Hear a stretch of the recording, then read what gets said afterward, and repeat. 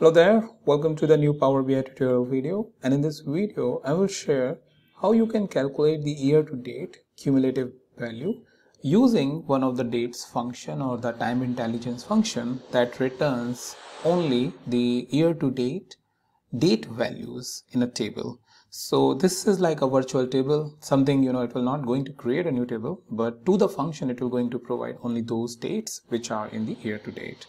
So that's something I will show you in a minute uh, how you can do that. And uh, before that, just a quick information that if you have landed very first time on my channel, then uh, this link, which is a Google spreadsheet link where I am keeping all of my previous videos to easily searchable manner where you can search any of my video on a specific topic or if you want to create your own playlist based on these titles then you can create it and the link is present in the column B so that you can jump it from uh, jump to those videos very easily.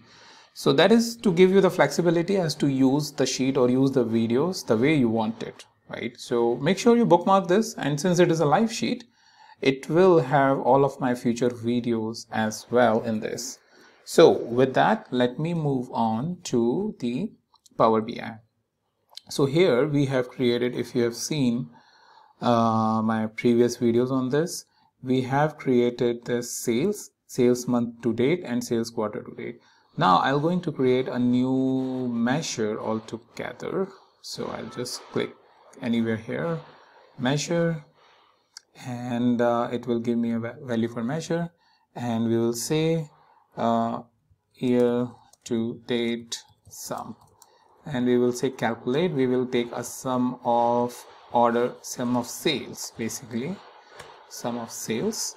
And then we will going to have the dates yt function which will going to take not this order date which um, on which the date has been or order has been placed like you have order date here.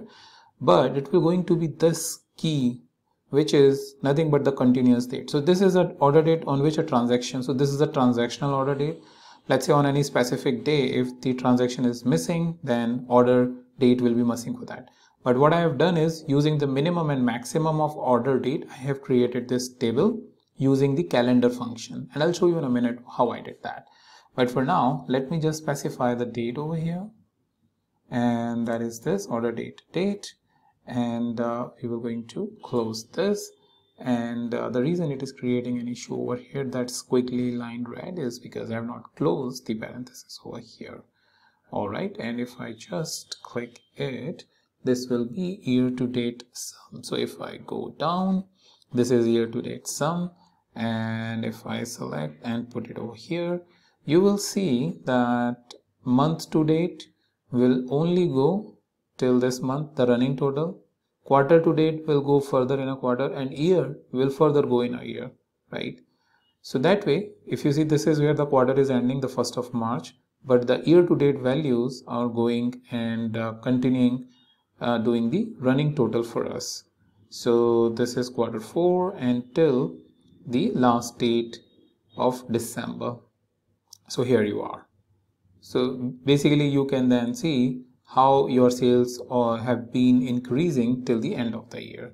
So that way you can create this running total for your calculation, comparison, KPI or for anything that you want and uh, easily get the output. Now how I created this order table is something for this I will go over here uh, in this data section and over here we have this order date table and order date as you will see is nothing but this output where calendar based on the calendar function i'm providing the minimum order date and maximum order date. And you are getting the based on this minimum maximum range you are getting all the dates in that range right? So if you have any scenario where you need to create this type of tip you can create it.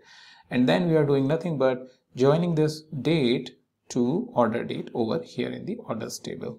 And that's how we are then getting the outputs. That's a small configuration that you will need to do if you want to achieve this output so with that, thank you so much for watching and I'll meet you in the next video with a new topic.